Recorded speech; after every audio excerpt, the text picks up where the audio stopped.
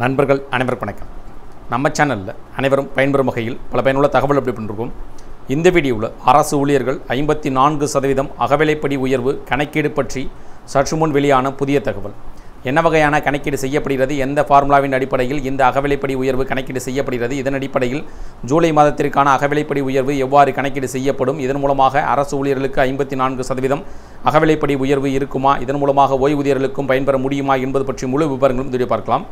வீடியோக்குள்ளே போகிறதுக்கு முன்னாடி நம்ம சேனலை சப்ஸ்கிரைப் பண்ணுவாங்க சப்ஸ்கிரைப் பண்ணுங்கள் சப்ஸ்கிரைப் பண்ணுங்க பக்கத்தில் இருக்க பெல் பட்டனையும் ப்ரெஸ் பண்ணுங்கள் அப்போ தான் நம்ம அடுத்த அப்டேட் கூடிய எல்லா வீடியோ உங்களுக்கு டேரெக்டாக கிடைக்கும்.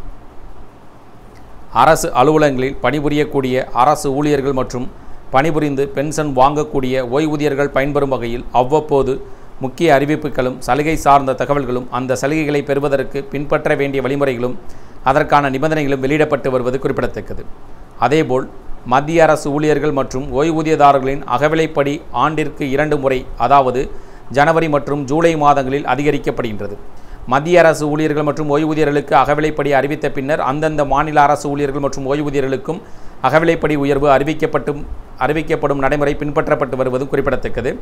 அதேபோல் ஏஐசிபிஐ குறியீட்டின் அரையாண்டு தரவை பொறுத்து அரசு ஊழியர்கள் மற்றும் ஓய்வூதியதாரர்களின் அகவிலைப்படி உயர்வு கணக்கீடு செய்யப்படுகிறது. ஜனவரி முதல் ஜூன் வரையிலான அரையாண்டு ஏஐசிபிஐ குறியீட்டு எண்களின்படி பார்த்தால் அகவிலைப்படி மற்றும் அகவிலை நிவாரணம் அதாவது டிஏ மற்றும் டிஆர் நான்கு சதவீதம் அதிகரிக்கப்படும் என தெரிகிறது. அப்படி நடந்தால் இப்போது ஐம்பது சதவீதம் என உள்ள அரசு ஊழியர்களின் அகவிலைப்படி ஐம்பத்தி நான்கு சதவீதமாக உயரும். மத்திய அரசு ஊழியர்கள் மற்றும் ஓய்வூதியதாரர்களின் அகவிலைப்படியை கணக்கிடுவதற்கான சூத்திரம் இதுதான். ஏழாவது ஊதியக்குழு அகவிலைப்படி சதவீதம் equal to AI CPI IW அடிப்படை ஆண்டு இரண்டாயிரத்தி ஒன்று ஈக்குவல் டு நூறு. கடந்த பன்னிரெண்டு மாதங்களின் சராசரி இரநூத்தி அறுபத்தி ஒன்று புள்ளி நான்கு இரண்டு டிவைடட் பை இரநூத்தி அறுபத்தி ஒன்று புள்ளி நான்கு இரண்டு இன்ட்டு நூறு. இந்த முறையில் ஏஐசிபிஐ குறியீட்டு தரவுகளின்படி அடுத்த மூன்று மாதங்களின் அகவிலைப்படி நான்கு சதவீதம் வரை அதிகரிக்கலாம். இதன் காரணமாக புதிய அகவிலைப்படியில் நல்ல ஏற்றம் ஏற்படும். இது அரசாங்க ஊழியர்களின் சம்பளத்தையும் அதிகரிக்கும்.